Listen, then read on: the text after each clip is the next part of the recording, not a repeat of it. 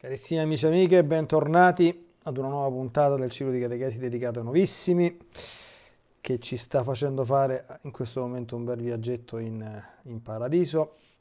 Puntata che comincia per chi segue la diretta con un pochino di ritardo, però eh, forse va bene il, il, proverbio meglio tardi che, che, che mai. Allora, ci siamo introdotti in, questa, in questo argomento e la volta scorsa abbiamo ehm, visto un po' il catechismo della Chiesa Cattolica, quindi le sue affermazioni eh, molto, molto belle e molto chiare, accennando a qualcosa, citato anche nel catechismo, della sezione diciamo magisteriale in senso stretto, quindi eh, affermazioni dogmaticamente vincolanti di papi e concili, che adesso in questa puntata cominceremo ad approfondire, evidentemente con l'ausilio dello strumento necessario per, per questo, che, eh, che, è il Denzinger, e direi di ehm, cominciare un po' subito a vedere qualche testo. I concili ecumenici, abbiamo già accennato la volta scorsa, che ci interessano, sono mm, quelli di Lione e di Firenze, ma lo sappiamo, e due lettere, ah, o meglio una lettera e una bolla di Papa Giovanni XXII, una costituzione molto importante da Benedictus Deus che abbiamo già incontrato di Benedetto XII e poi c'è anche magari un intervento ehm, da accennare appena mh, relativamente, boh, comincia a essere un pochino datato, ecco, ma è eh, un documento della, della Congregazione della Dottrina della Fede sulle alcune questioni mh, riguardanti l'escatologia, eh, perché come possiamo immaginare in epoca recente addirittura qualcuno ha negato l'esistenza dell'anima come, come, come, come, sostanza sopravvivente, diciamo così, alla morte corporale. Quindi sono state ribadite alcune cose che sembrerebbero ovvie, ma mh, mm, fanno capire quindi il contesto, ahimè, storico-culturale e anche teologico in cui ci, ci stiamo purtroppo in questo momento dibattendo. Allora, cominciando dal Concilio di Lione, di, di, di Lyon meglio, eh, non lo italianizziamo troppo perché in francese è Lyon. Ehm, siamo nell'anno 1254, è il famoso concilio a cui avrebbero dovuto partecipare San Tommaso e San Bonaventura, sono morti tutti e due mentre si recavano uh, per parteciparvi. E troviamo due affermazioni molto eh, chiare, eh, lapidarie sui temi che ci interessano e che sono se qualcuno poi senza la penitenza muore in peccato mortale, costui senza alcun dubbio sarà tormentato per sempre fiamme, dalle fiamme della genna eterna. E poi le anime poi dei fanciulli piccoli dopo il lavoro del battesimo e quelle anche degli adulti che sono morti nella carità, nei quali non sono trattenute né dal peccato né al fine di una qualche soddisfazione a motivo di esso, volano direttamente alla patria eterna. Questi testi li abbiamo già eh, incontrati nella catechesi precedenti, li rivediamo adesso rapidamente. Eh, senza la penitenza qui chiaramente non è semplicemente la penitenza virtù, quindi la, le, le penitenze che si fanno in seguito del peccato, perché il peccato mortale ha bisogno della penitenza sacramentale, cioè eh, anzitutto del pentimento dei peccati e poi della loro umile confessione. Si notino ecco, le, le, le asserzioni nette apodittiche necessarie quando si parla di, di dogmi, perché quando si parla di, di, principi occorre essere chiari, cioè una persona lo deve sapere che se, se non si pente dei propri peccati e muore in peccato mortale, senza alcun dubbio sarà tormentato per sempre dalle fiamme della gene eterna, senza alcun dubbio. Forse chi lo sa? No, no, senza alcun dubbio. Certo, il peccato mortale, che una persona possa essere imputata di peccato mortale, il giudizio ultimo di questo spetta soltanto a Dio, perché la piena avvertenza e il deliberato consenso ad un'azione, noi possiamo da fuori intuirle, presumerle, ma che ci siano in maniera piena e integrale, senza nessuna circostanza scusante, lo può sapere con certezza soltanto l'Altissimo. Quindi, per carità, questo rimane. Il che non toglie però che chi muore in stato di peccato mortale, senza pentimento, senza dubbio sarà tormentato per sempre dalle fiamme della pena eterna, della gene eterna, e che in paradiso ci vanno, a dispetto di tante cose che si vedono e si sentono, solo le anime eh, dei bambini battezzati, ovviamente prima dell'uso della ragione, oppure gli adulti morti nella carità, la carità si intende l'amore di Dio, quindi eh, che non sono né trattenute dal peccato e né devono ancora soddisfare in qualcosa la divina giustizia a motivo di esso. Ecco, anche qui gli attestati, diciamo così, eh, di canonizzazione, come ho avuto già avuto modo di, di, dire, che si sentono fare, ahimè, in più di qualche seguia, bah. lasciano molto il tempo che trovano e a mio avviso lasciano disorientate le coscienze, causano un danno ai defunti, causano anche un danno a chi le sente certe cose, perché si va poi a fare l'errata idea che più o meno vanno tutti in paradiso, qualunque cosa abbiano fatto. Io dico parlo da parroco, specialmente oggi, cioè io non lo so se sono l'unico a constatare certe cose, cioè la stragrande maggioranza dei centri funerali che si celebra oggi riguarda persone, spesso e volentieri, sconosciute. Cioè, forse se ti hanno aperto la porta di casa quando sei andato a benedire la casa, forse magari una volta l'hai vista, due, tre, Dopodiché la, la gente muore senza sacramenti, senza confessione, senza viatico, senza aver messo piede in chiesa da, da tempo indeterminato, almeno non, non, nella chiesa di cui il parroco è parroco, poi sarà andato da qualche altra parte, chi lo sa, a volte anche in situazioni molto molto eh, turbolente, diciamo così, e sta in paradiso.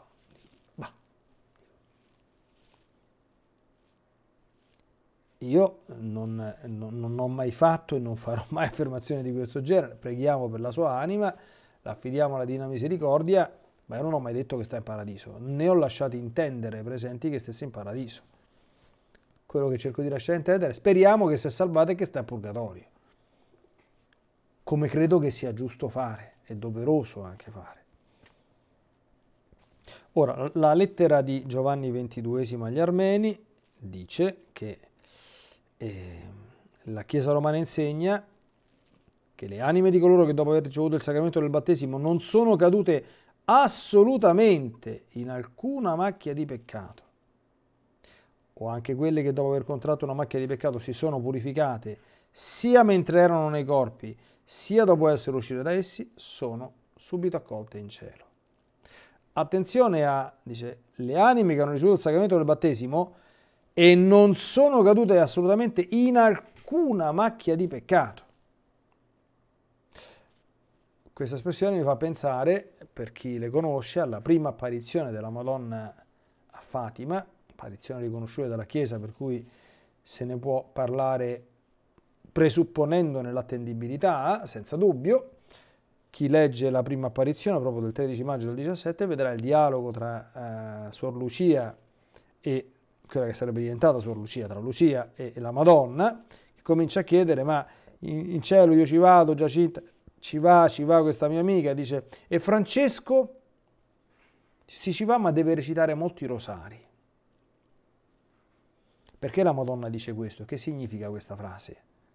A un bambino di 7-8 anni, adesso non mi ricordo se erano 7 o 8, ma uno dei due, del 1917, quindi in un contesto quale quello portoghese poi tra l'altro, proprio impregnato di fede. Vuol dire che quel ragazzino, che a 7-8 anni già ha un uso della ragione, perché la Chiesa ha fissato come età convenzionale per l'uso della ragione, convenzionale perché potrebbe anche essere anticipato in certi casi o in casi magari di qualche piccola difficoltà, ritardato, comunque convenzionalmente l'uso della ragione è fissato intorno ai sette anni. Quindi nel momento in cui tu ti rendi conto delle cose che fai e puoi capire se stai facendo qualche marachello o qualcosa che non va. Eh, cioè, vuol dire che la condizione, lo stato dell'anima di Francesco, che poi sarebbe diventato un eroe della, della, della, fede, sappiamo tutte le penitenze che faceva, le ore che passava davanti al Santissimo Sacramento, e sicuramente, molto probabilmente con la morte che ha fatto anche è andato in paradiso per direttissima, lui sì. Ecco, però per lo stato in cui si trovava in quel momento, molti rosari. E non credo che possa aver fatto qualche peccato mortale un ragazzino di 7-8 anni, ma molti rosari sì però. Ora, se un ragazzino di 7-8 anni, molti rosari per andare in paradiso in quel contesto, capite, no? Io non voglio, come dire, non ho nessuna intenzione, non mi piace, cioè creare eh, preoccupazioni, tensioni, agitazioni o sofferenze. Non, non, non, non, sono, non è una cosa divertente, però è compito di un pastore, eh, che, cioè, degno di questo nome, eh, eh, cioè far riflettere le anime che il Signore in qualche modo gli affida. E non creare false illusioni, false, fondate sul, sul nulla perché davanti a Dio non c'entra niente che sia macchiato anche della più minima macchia di peccato, addirittura anche imperfezione non purificata, non ci entra. Questo dobbiamo mettere bene in testa, specialmente oggi. Andiamo a vedere un altro documento, sempre di Giovanni XXII, questa volta la bolla Ne Super His, Denzinger 991, che, dove si leggono queste testuali parole. Noi confessiamo dunque e crediamo che le anime purificate, separate dai corpi, sono in cielo. Nel regno dei cieli e in paradiso raccolte insieme con Cristo nella comunione degli angeli e che conforme alla condizione comune vedono chiaramente Dio e la divina essenza faccia a faccia per quanto lo permette lo stato e la condizione di anima separata. Se poi altre cose o in altro modo, a proposito di questa maniera, in una qualsiasi circostanza da noi fossero state dette, noi quelle cose le abbiamo dette e affermiamo di averle dette e vogliamo che siano state dette citando e discorrendo secondo il modo di sentire della Chiesa Cattolica. Inoltre, se noi in ordine a ciò che riguarda la fede cattolica, la Sacra Scrittura e i buoni costumi, predicando, discorrendo, formulando una dottrina, insegnando o in qualsiasi altro modo abbiamo detto altre cose, queste se sono conformi alla fede cattolica, al modo di sentire della Chiesa, alla Sacra Scrittura e ai buoni costumi, non le approviamo. In caso contrario, invece noi quelle cose vogliamo ritenerle come non dette e non le approviamo per nulla in quanto fossero dissonanti dalla fede cattolica, dal modo di sentire della Chiesa, dalla Sacra Scrittura o dai buoni costumi o di uno qualsiasi di questi. Se questo fosse, noi le riproviamo. E ugualmente sottomettiamo al modo di sentire della Chiesa e dei nostri successori tutte le nostre cose, dette o scritte, relative a qualsiasi argomento, in ogni sua parte, in qualunque luogo e in qualunque condizione che abbiamo o abbiamo avuto finora. Ora, si parla innanzitutto della condizione delle anime separate dai corpi, che sono in cielo, nel regno dei cieli in paradiso, si parla qui, in questo documento, di, per la prima volta, in termini abbastanza chiari, di visione beatifica. Che cos'è la visione beatifica? Per quanto possiamo descriverla, vedono chiaramente Dio e la divina essenza faccia a faccia.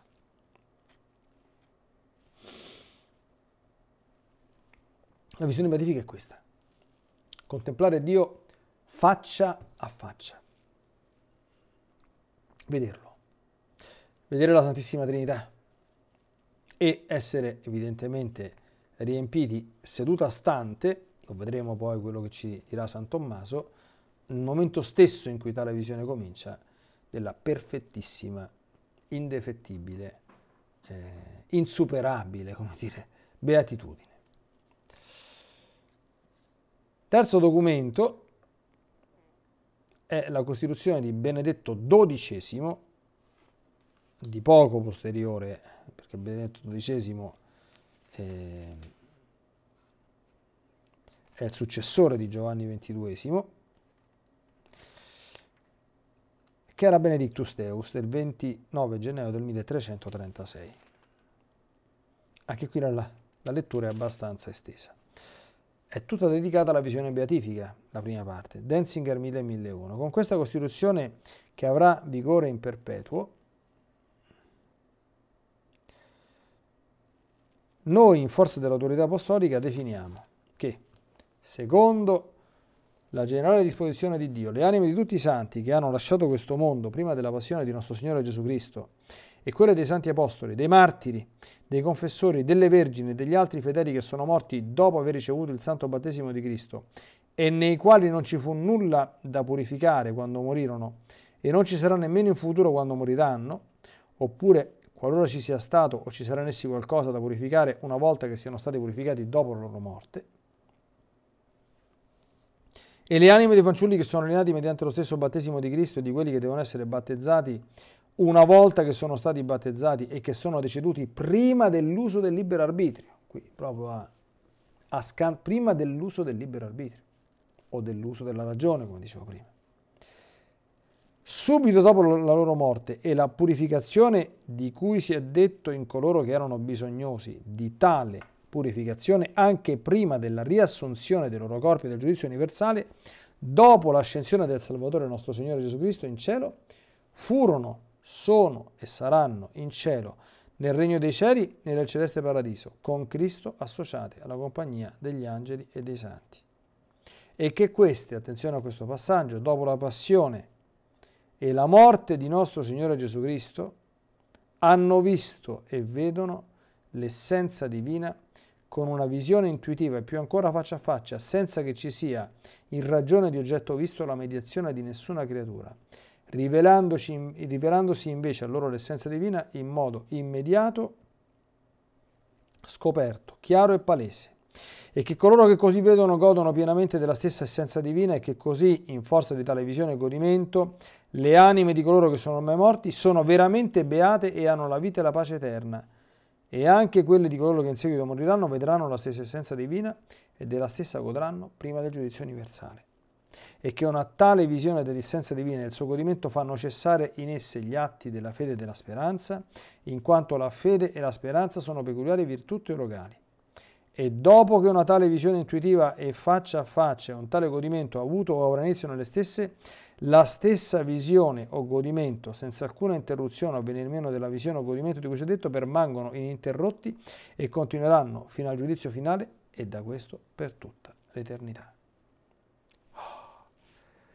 Ecco, il massimo che si possa dire, come dire, da, da, da un punto di vista teologico dogmatico, lo troviamo in queste affermazioni stupende, bellissime, molto chiare, per cui adesso le, le commento, ma un ascoltatore attento ha già colto, io non faccio altro che sottolineare. Allora, chi ci va in paradiso? Le anime dei santi che hanno lasciato questo mondo prima della passione di nostro Signore Gesù Cristo quindi tutti quanti i santi dell'Antico Testamento. E quelli dei santi, cominciamo, gli apostoli, i martiri, i confessori della fede, attenzione, i confessori, quando, quando sentiamo parlare di confessori, questo è meglio dirlo, non sono i confessori, cioè quelli che ascoltano il sacramento della confessione, ma sono quelli che confessano il nome del Signore, testimoni di Lui. Il titolo di confessori ce l'hanno i santi nella tradizione della Chiesa, i santi non martiri. Quando uno non è martire maschio, è un confessore. Quando una donna viene canonizzata ed è donna, è vergine, se è rimasta vergine, oppure è una santa vedova, se è rimasta vedova, oppure è semplicemente una santa, se è vissuta nel matrimonio. Quindi questo per familiarizzarsi un pochettino con i nomi un po' tecnici che sono usati nella, nella Chiesa, no? quindi dei martiri, dei confessori, delle vergini e degli altri fedeli che sono morti dopo aver ricevuto il santo battesimo di Cristo e nei quali non ci fu nulla da purificare quando morirono, vedete? Se non c'è nulla da purificare quando morirono e non ci sarà nemmeno in futuro quando moriranno, quindi quelli che ancora devono morire, oppure qualora ci sia stato ci sarà in essi qualcosa da purificare una volta che siano stati purificati dopo la loro morte. Quindi, è possibile arrivare alla morte senza avere niente da, da purificare? Eh, certo, dipende da, da, da quanto volontariamente ci siamo purificati in questa vita.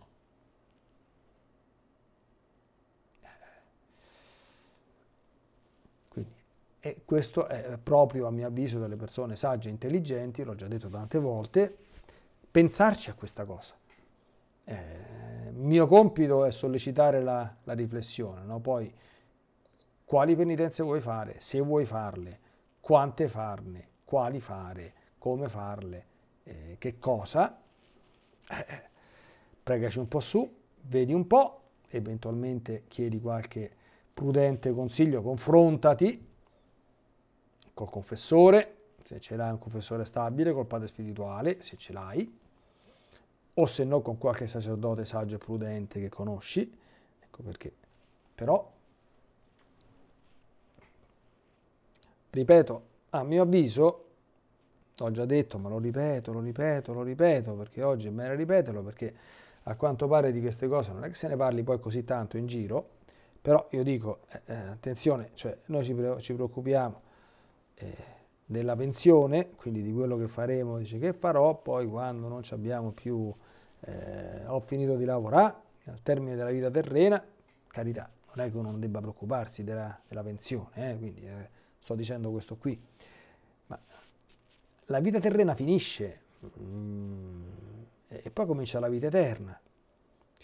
Dice, ma anche il purgatorio finisce, sì il purgatorio finisce, ma il purgatorio come abbiamo già visto, non è una saletta d'aspetto, dice vabbè, ci beviamo un caffè e, e, aspettiamo di essere ammessi al paradiso, sai, dobbiamo fare un po, di, un, po di, un po' di fila, un po' di attesa, non è così semplice.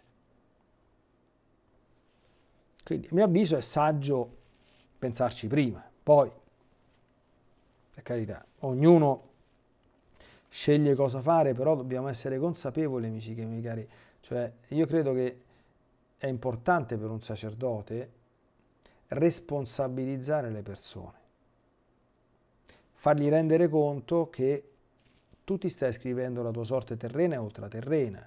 Eh, poi non piange il latte versato quando poi diventa tardi, dobbiamo pensarci prima. Ancora, le anime dei fanciulli battezzati qui specifica prima dell'uso del libero arbitrio.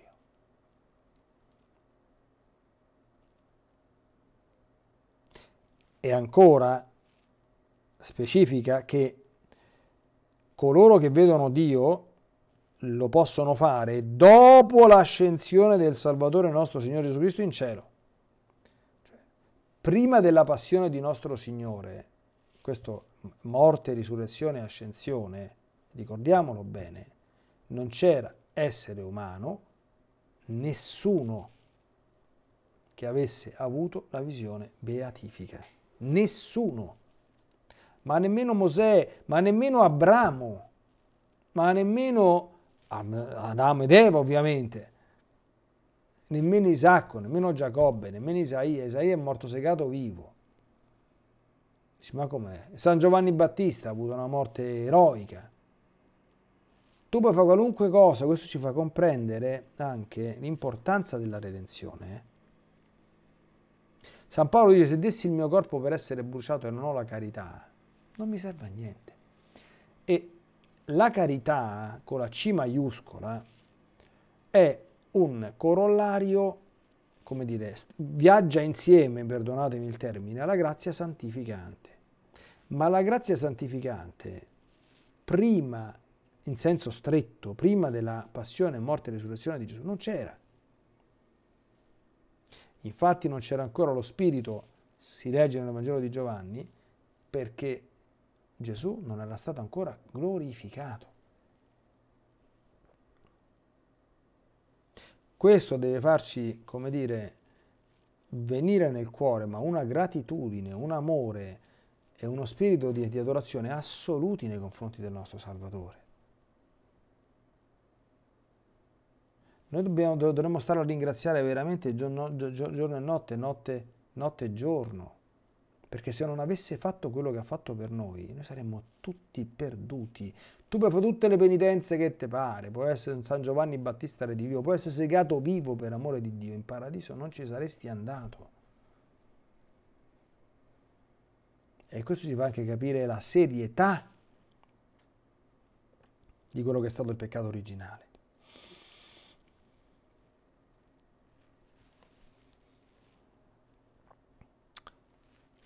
Quindi, dopo la morte, dopo la passione e morte del nostro Signore, hanno visto e vedono l'essenza divina, ecco la definizione, con una visione intuitiva, faccia a faccia senza che ci sia in ragione di oggetto visto la mediazione di nessuna creatura. Non c'è più. Rivelandosi a loro l'essenza divina in modo immediato, scoperto, chiaro e palese. Immediato, quindi senza mediazioni, scoperto, senza veli, chiaro e palese, evidente. Cosa produce questa visione beatifica? Godono pienamente della stessa essenza divina e in forza di tale visione e godimento sono veramente beate, la beatitudine, cioè la pienezza della felicità, e hanno la vita e la pace eterna. Quando si hanno quando si ha la visione beatifica cessano chiaramente gli atti della fede e della speranza, perché non c'è bisogno di credere perché ce l'hai davanti agli occhi e non c'è bisogno di sperare perché hai raggiunto l'oggetto della speranza, la meta. Cosa rimane? Come dice San Paolo, rimane la carità, che lì non soltanto rimane, ma è perfettamente vissuta e compiuta.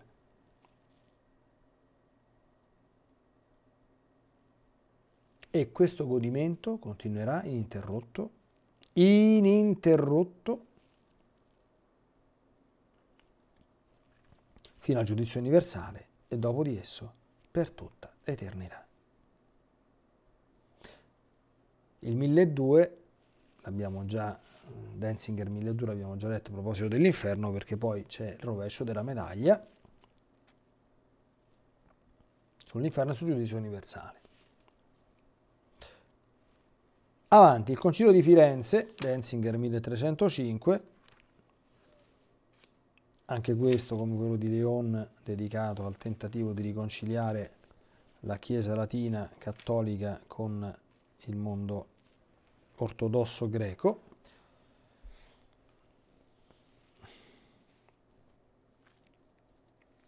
Dopo aver parlato del purgatorio dei suffragi, abbiamo visto questo quando abbiamo appunto affrontato il tema del purgatorio,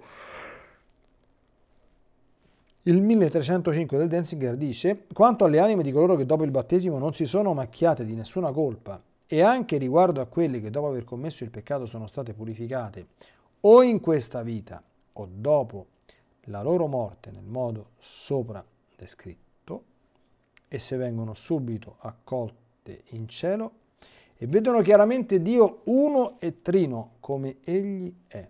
Attenzione! aggiunta fondamentale, ma alcune in modo più perfetto di altre a seconda della diversità dei meriti. Sicuti est pro meritorum tamen diversitate alium alio perfectius in latino. Ah, qui viene introdotto rispetto a quello che già sappiamo, viene specificato che si vede l'essenza divina, cioè Dio uno e trino. Finalmente vedremo la Santissima Trinità, l'oceano dei misteri, ineffabile, incomprensibile, certamente in questo mondo. Ma attenzione, alcune in modo più perfetto di altre, a seconda della diversità dei meriti. Ora qui eh, subentra un altro aspetto che anche a quello dobbiamo pensarci, amici cari. Dici, per andare in paradiso basta osservare i dieci comandamenti? Sì, la risposta è sì. Se vuoi entrare nella vita osserva i comandamenti. Stare lontano dal peccato mortale? Sì. E se fai peccati veniali vai all'inferno? No. Ti fai un sacco di purgatorio? Sì. E non solo però. Non è, dice, vabbè, faccio purgatorio, poi però una volta arrivato in paradiso va bene. Eh no. Sì, va bene.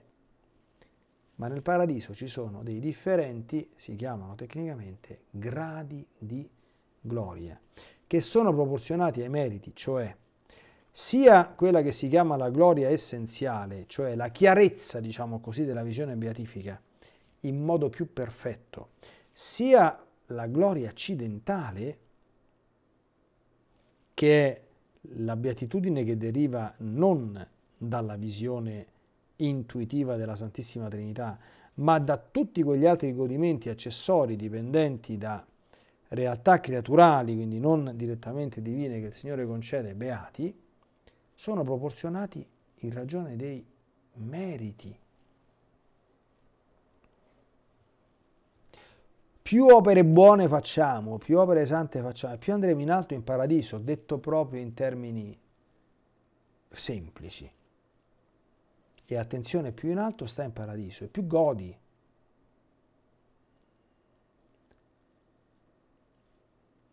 Anche questo, siccome voi capite, cioè la vita eterna si chiama vita eterna perché abbiamo 70 anni, 80, 90, facciamo 100, ma fossero pure 200, o come i, i patriarchi prediluviani che campavano fino a mille anni, secondo il libro della, della Genesi, no? Fossero pure mille anni. Ma capiamo cosa sono mille anni in confronto all'eternità, cioè all'infinito. Noi fino a quando stiamo, stiamo qui, io adesso sto, sto, parlando, non lo so che tipo di risonanze interiori producono queste, queste mie parole, no?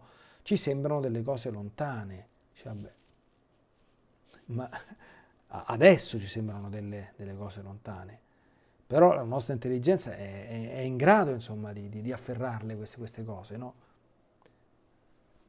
Fa, facciamola qualche opera buona in più e qualche peccato in meno, o no? Conviene, no?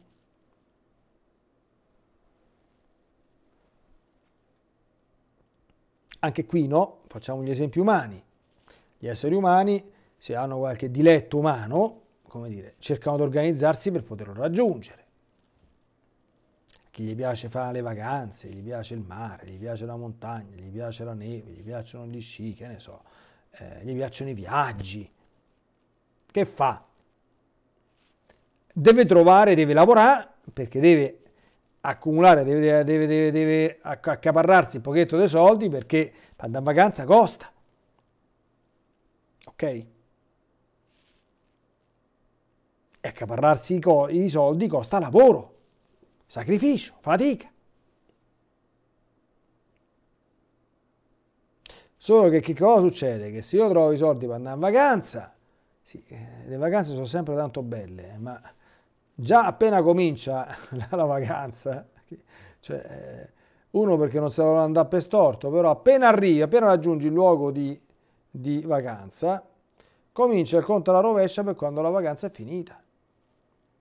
E per quanto possa essere bella la vacanza, uno possa, possa pregare che, che, che, che il tempo passi più lentamente possibile, la vacanza finirà.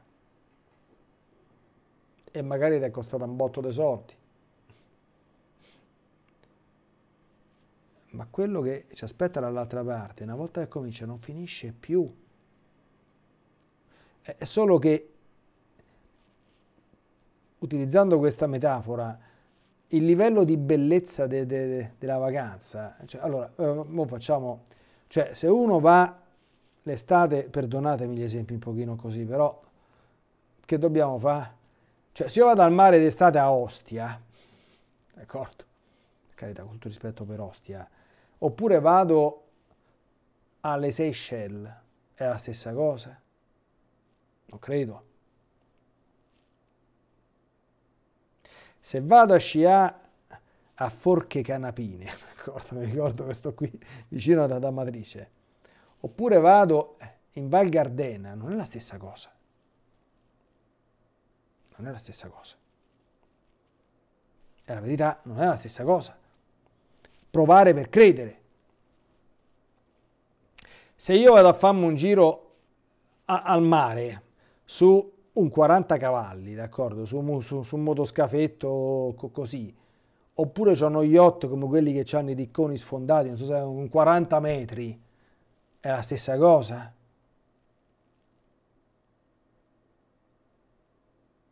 Non è la stessa cosa. Se io devo andarmene in giro con la 500 o l'850 dei, dei Fantozzi che, che si accende con, con la levetta, oppure con la Ferrari, è la stessa cosa? Non è la stessa cosa. Ecco, trasla- facciamo un processo di, di, traslazione. Questi sono esempi relativi a questa piccola vita terrena. Giusto? Se mi vedo un film in 4K, oppure mi vedo una pellicola muta dei Super 8 degli anni 60, è la stessa cosa? Non credo. Eh, ma guardate che, cioè, queste cose si possono tranquillamente in ciò che rappresentano traslare alla beatitudine. Dice, col Super 8 vedi qualcosa? Eh sì, che certo che vedi qualcosa. Eh, cioè, meglio il Super 8 che niente. Se vuoi, se, se vuoi ma vogliamo paragonare al Super 8 col 4K? Dice, vabbè, ma vado a una sciata, se vado a Forche Canapine e qualche pista c'è sta pure là, che problema c'è? Certo che c'è sta pure là. non è come, come non, non, c'è, eh, non, non, ha la qualità di, di, altre, di altre zone. Vabbè, se mi devo fare un bagno, cioè, un conto che fate frequenti una spiaggia un pochino così, con l'acqua un pochino così, un conto che vai in spiagge da sogno, no? Sempre spiaggia, eh! Sempre neve, eh! Sempre macchina, eh! Sempre film, eh! Quindi questo è il minimo comune denominatore. No? Quindi sempre paradiso è, sempre visione beatifica è, sempre gloria occidentale c'è, ma l'intensità, la perfezione è diversa. Un film in 4K al momento attuale, io so che, se, che diavolerie si inventeranno per il futuro, se ne inventano ancora, non so che altro possono inventare oltre a questo, è, come dire, un processo che è cominciato dai, dai, dai Super 8 è arrivato a 4K. Se passa poi dal Super 8, che prima poi, poi le, le, le, telecamere che oltre a, a, al video ti facevano sentire anche l'audio, sempre con tutte quante queste formichine, no?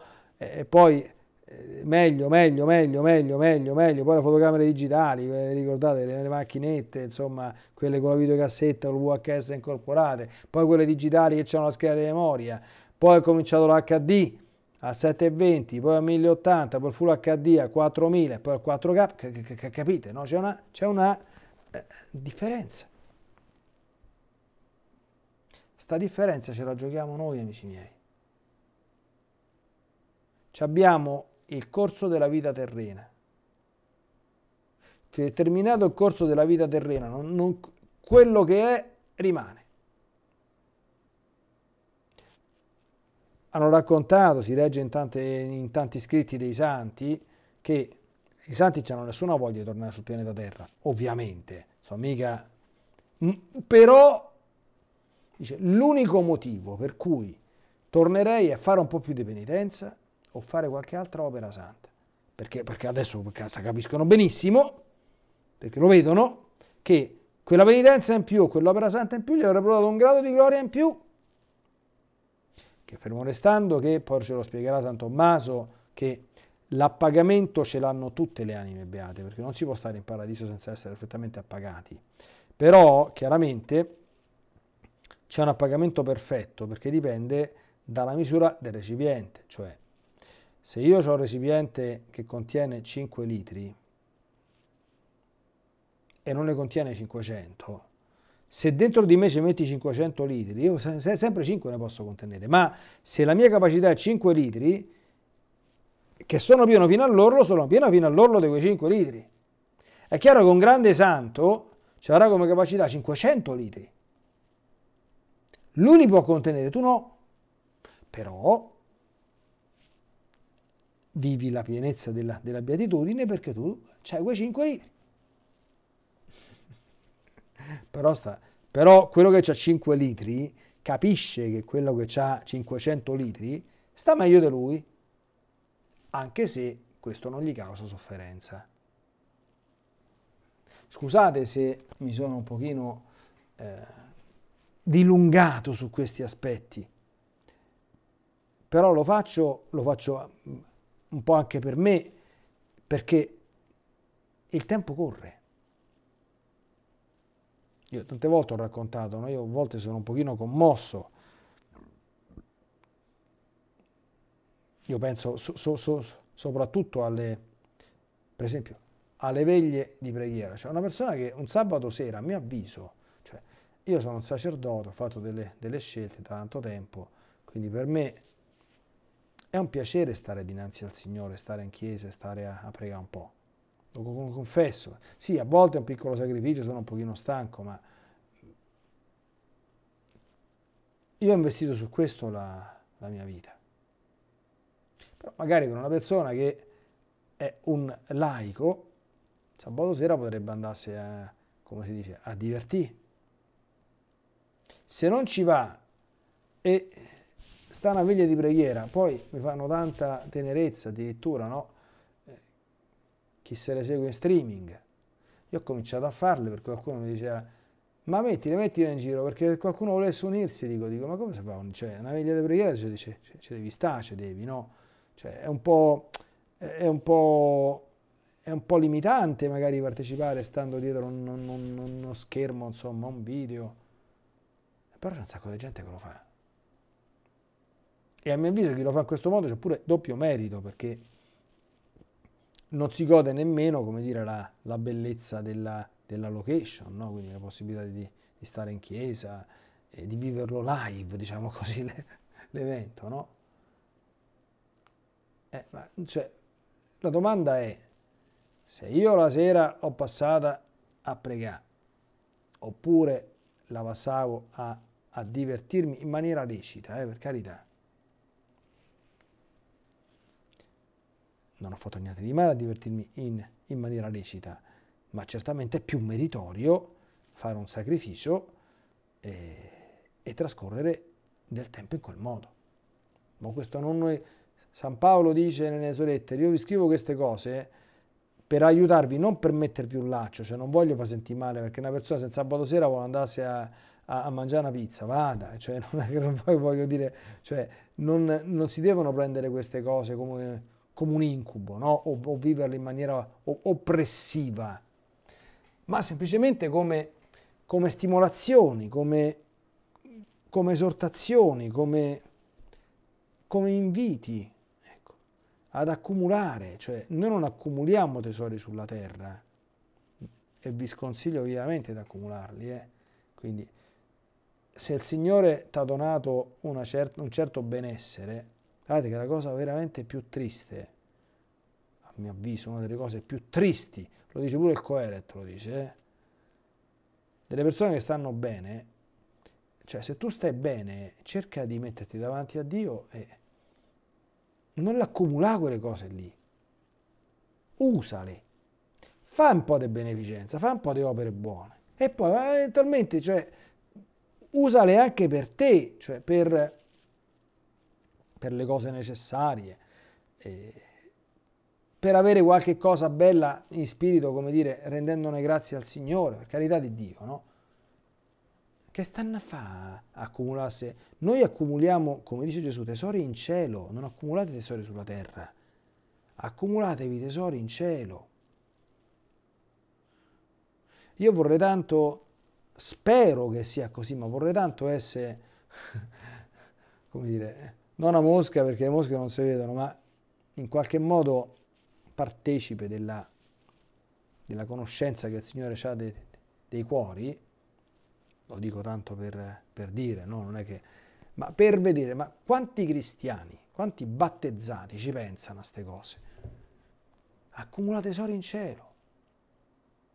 Io in tante prediche ho detto, dico, senti un attimo, quanto c'hai in banca? Quanti soldi ti sono passati davanti? Quanti sono, cioè, guardate che noi in paradiso noi abbiamo il libretto di deposito, abbiamo il conto corrente in paradiso. Ogni soldo che tu dai gratuitamente, in beneficenza, come liberalità, è quello tutto quanto messo, è messo nella banca del cielo. Non è che tu l'hai perso, l'hai investito. Gli uomini fanno gli investimenti, se hanno tanti soldi, che fanno? Comprano le azioni, comprano i bot, comprano quello, quello, quello, quello. Le devono investire, così li fruttano. Se uno vuole fare questo, faccia, faccia pure. Io suggerirei almeno una parte, perché poi anche qui dipende dalle scelte personali, c'è chi fa più e chi fa meno. Liberamente Dio non forza nessuno. Non costringe, non forza, accoglie tutto, ma non forza nessuno. Mio spassionato consiglio, ma una parte mettila in paradiso. Perché quelli ti tornano per tutta l'eternità. Con interessi, sapete, no? Eh, gli interessi, voglio, voglio vedere quale, quale, banca della terra fa i tassi di interesse che fa quella del cielo. Gesù ha detto 100 per 1, ha detto, eh? 100 per 1 qui e vita eterna dopo. Ha detto lui. Conoscete qualche banca che fa 100 per 1? Cioè che se io ci metto dentro 1000 euro, tra un anno me ne dà 100.000 euro. Se la conoscete fate, fatemela sapere perché insomma un pensierino ce lo faccio pure io.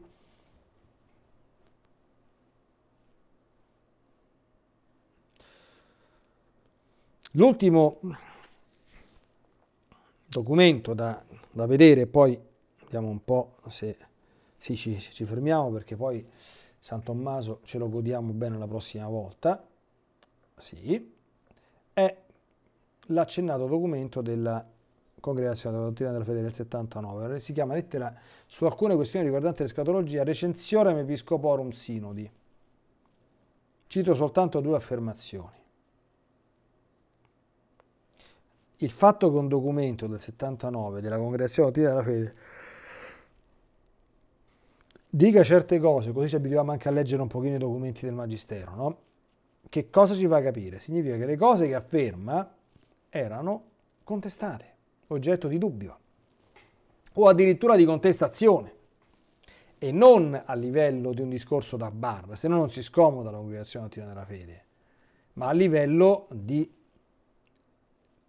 teologia, eh, come dire, ad alti livelli, forse cattedre universitarie di qualche pontificia facoltà. La prima affermazione è la Chiesa afferma la sopravvivenza e la sussistenza dopo la morte di un elemento spirituale dotato di coscienza e volontà. L'anima, questa definizione non mi fa proprio impazzire, comunque, di modo tale che l'io umano sussiste pur mancando nel frattempo del completamento del corpo.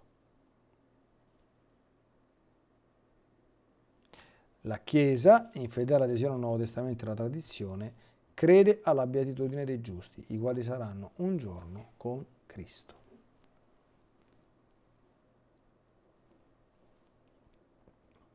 Quindi l'esistenza dell'anima. Io adesso già immagino, adesso non voglio qui parlare, fare commistioni di, di catechesi, no? Le prospettive che apre per esempio il libro di, di Tenera Amata sulla quinta dimensione l'ho già spiegato tantissime volte, che la quinta dimensione non contraddice questa cosa qui, semplicemente aggiunge un elemento che, su cui l'attenzione di tutti non si era fermata. Ma guardate che mm, il discorso sulla, sulla quinta dimensione, per uno che conosce un minimo di filosofia e teologia, è semplicemente ovvio. Semplicemente ovvio. Perché il tempo scorre in questa dimensione, Ma quando questa dimensione viene lasciata e si entra nell'eternità, nell'eternità il passato, il presente e il futuro non esistono. Cioè, tanto per farci un esempio, cioè, è, tutti quanti capiscono, se io a una persona gli dico guarda lo sai che quando morirai ti rivedrai tutta quanta la passione di nostro Signore Gesù Cristo. Ma attenzione, non è che si vede come uno stessa al cinema. Dice, oh, mi vedo un film, però a differenza della passione di Mel Gibson, il film che mi vedo è proprio quello che è stato, quindi è un docufilm perché mi vedo proprio nostro Signore Gesù Cristo in persona, non l'attore che lo, che, che lo interpreta, eh, vivere tutto quello che ha vissuto, soffrire, risorgere, eccetera, eccetera. Non è così.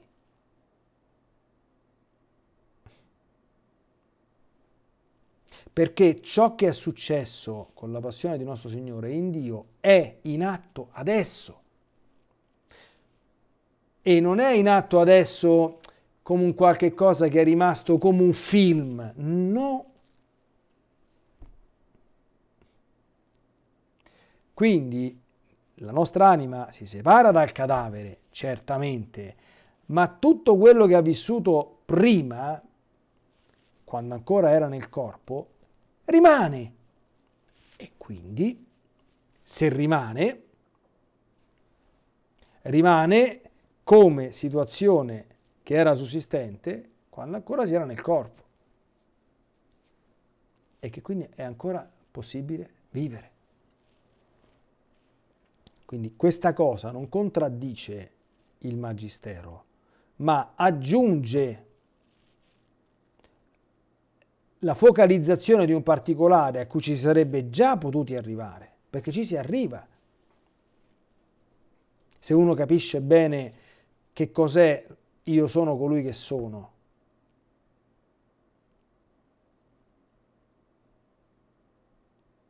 Cioè io sono l'essere. E che significa il fatto che Dio una volta che dà l'essere non lo toglie a nessuno, eccetera, eccetera. Ecco.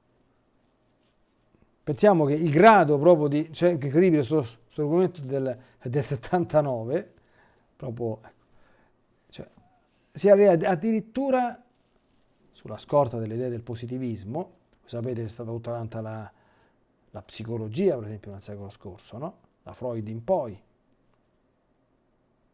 che hanno cominciato a parlare dell'io, vedete qui come per cercare un attimo di intercettare queste cose, cioè l'io umano sussiste pur mancando nel frattempo il completamento del corpo. L'anima